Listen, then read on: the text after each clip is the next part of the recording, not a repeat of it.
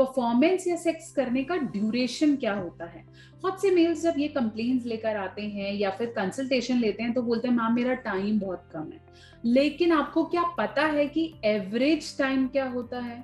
बहुत से मेल्स जब परफॉर्म करते हैं तो कितना टाइम ओके है, कितना टाइम बहुत कम है और कितना टाइम ज़्यादा है? जिसे हम प्री मेच्योर इजैकुलेशन या प्रोलॉन्ग इजैकुलेशन बोलते हैं तो कैसे पता करेंगे कि एक एवरेज टाइम ऑफ़ परफॉर्मेंस क्या होती है?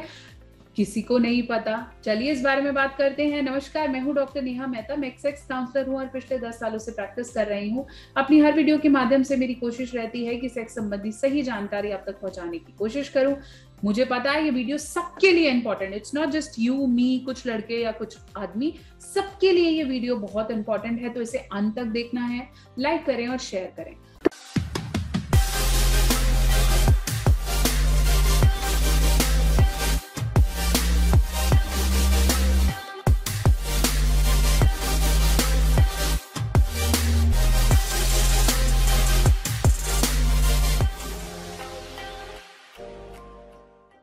चलिए हम बात कर रहे थे कि क्या एवरेज टाइम है सेक्स करने का?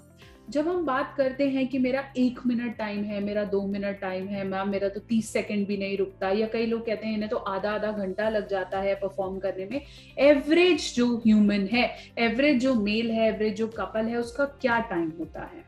देखिए, सबसे पहले ये जानेंगे कि सेक्स की टोटल एक्टिविटी क्या है। मैंने आपको अपनी फोर प्ले वाली वीडियो में बहुत डिटेल में बताया है कि सेक्स का मतलब सिर्फ़ इंटरकोर्स नहीं है। सेक्स का मतलब है foreplay intercourse and then your outplay तो अगर आप कडल्स कर रहे हैं, हाथ पकड़ रहे हैं किस कर रहे हैं that is not part of performance इसमें टाइम कैलकुलेशन नहीं है। अगर आप फोर प्ले कर रहे हैं, उसका टाइम अलग है और परफॉर्मेंस की अगर मैं टाइम की बात करूँ, जहाँ आप ये सोचते हैं कि मेरा प्री मेच्योर इजैकुलेशन हो रहा है, या फिर मैं तो बहुत जल्दी हो रहा है, एक एवरेज इंडियन ह्यूमन का टाइम फाइव मिनट्स है। Five minutes of penetrative sex and intercourse पाँच मिनट से पहले अगर आपका छूट रहा है तो वो प्री मेच्योर इजैकुलेशन है, जो कि तीन महीने से रेगुलरली चल रहा है। और अगर आपका टाइम बहुत ज़्यादा बढ़ जाता है तो वो प्रोलॉन्ग इजैकुलेशन या डिलेड इजैकुलेशन भी होता है। तो ये चीज़ समझे कि what is the average time of performance excluding foreplay outplay all your positions, cuddles, everything.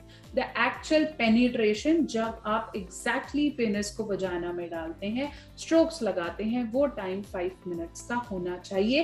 पाँच से दस पाँच से चार चलता है ये एक एवरेज टाइम है। और अगर ये इसका है तो आपको घबराने की कोई ज़रूरत नहीं है।